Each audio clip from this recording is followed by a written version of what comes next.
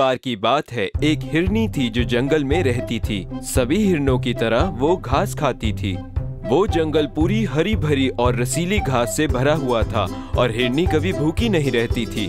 पर उसकी एक बुरी बात थी, जितना उसे चाहिए होता था, उतना खाने के बाद वो बाकी की घास से खेलती और उसे बर्बाद कर देती। अक्सर वो घास मिट्टी से उखाड़ देती और सारी घास सूख जाती। फिर एक दिन घास ने हिरनी से बात करने के बारे में सोचा। हिरनी, सुनो। अपनी ये बुरी हरकतें बंद कर दो।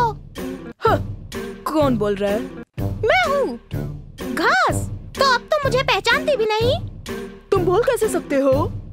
जब ज़रूरत हो तो मुझे बोलना पड़ता है।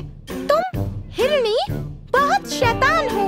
मैंने ये कभी नहीं कहा कि हमें मत खाओ। बेशक सारी घास खा लो पर बर्बाद मत करो। क्या? तुम किस बारे में बात कर रहे हो? तुम अपनी शैतानी जो मुझे अच्छा लगेगा मैं वही करूँगी।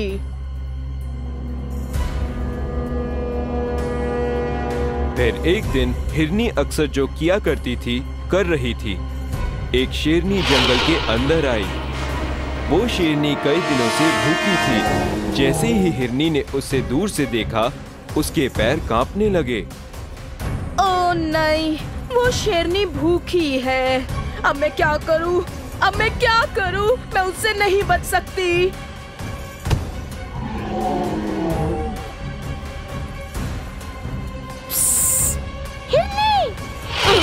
क्या ये क्या है? जल्दी करो। इससे पहले शेरनी तुम्हें देखे जल्दी उस कोने में चली जाओ। जहाँ की घास तुमने अभी बर्बाद नहीं की। जाओ जाकर छुप जाओ।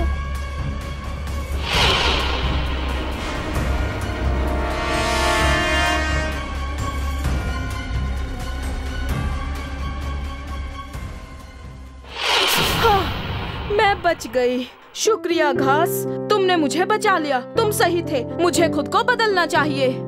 तो आज हमने ये सीखा कि हमें हमेशा अपने खाने की इज़्ज़त करनी चाहिए।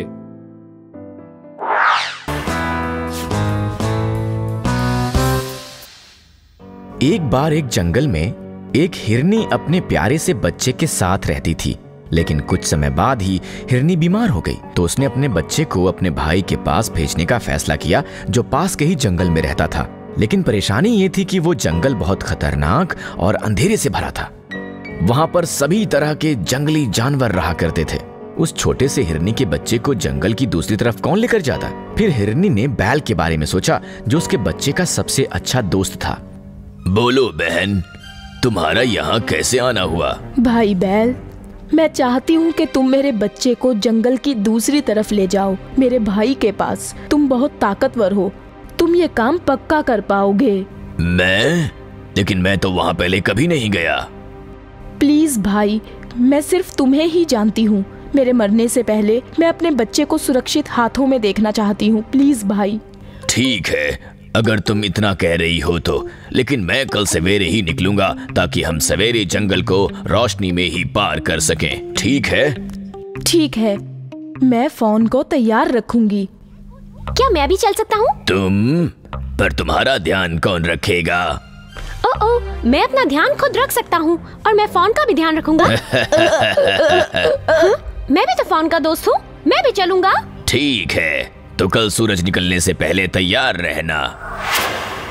चलता हूँ माँ। ठीक है बच्चे। मेरे बच्चे खुश रहना। खरगोश तुमने ये क्यों कहा कि तुम फ़ोन के सबसे अच्छे दोस्त हो? फ़ोन तुम्हारा सबसे अच्छा दोस्त कौन है? ये कैसे बता सकता है? क्या तुम इसकी तरह कमज़ोर जानवर को अपना सबसे अच्छा दोस्त बनाना चाहते हो? मैं तुम्हें सुरक्षित रख सकता हूँ। मैं तुम्हें बचा सकता हूँ। क्या हुआ बोल?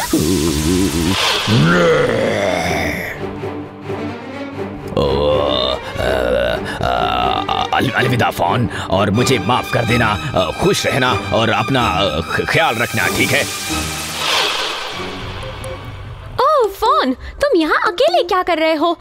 तुम्हारे माता पिता और तुम्हारे परिवार के और भी हिरणों का झुंड उन पेड़ों के पीछे तुम्हारा इंतज़ार कर रहा है। चलो जल्दी आओ।